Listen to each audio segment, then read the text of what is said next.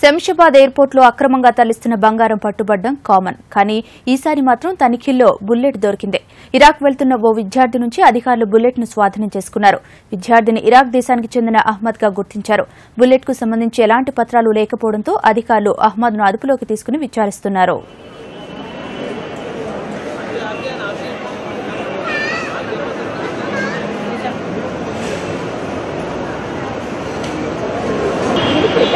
Ah?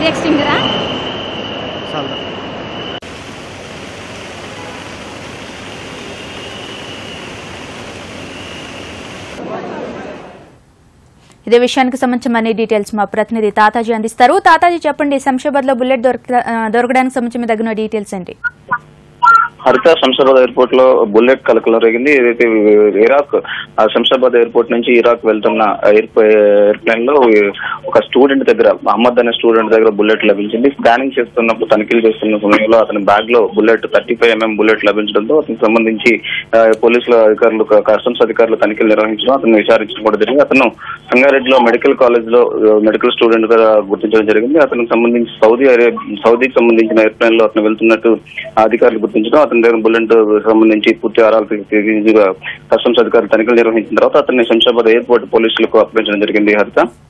Right Tataji thank you